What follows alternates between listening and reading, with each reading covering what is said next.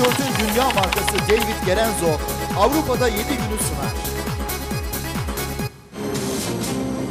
Almanya'da ticaret yaparken hangi yasal zorunluluklara dikkat etmek gerekiyor? Ticarette yasal haklar nasıl aranır? Siz soracaksınız.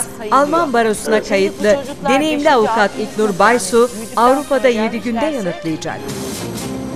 Avrupa'da 7 günde Türk girişimcilere destek devam ediyor. Türk iş adamlarımızın başarı öyküleri Avrupa'da 7 günde. Avrupa'nın her köşesindeki Avrupalı Türklerin gündeminden yine ilginç haberler Avrupa'da 7 günde.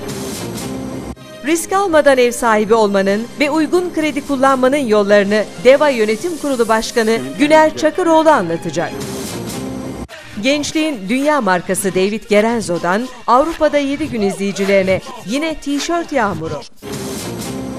Ve canlı yayında müzik dolu dakikalar yine Avrupa'da 7 günde.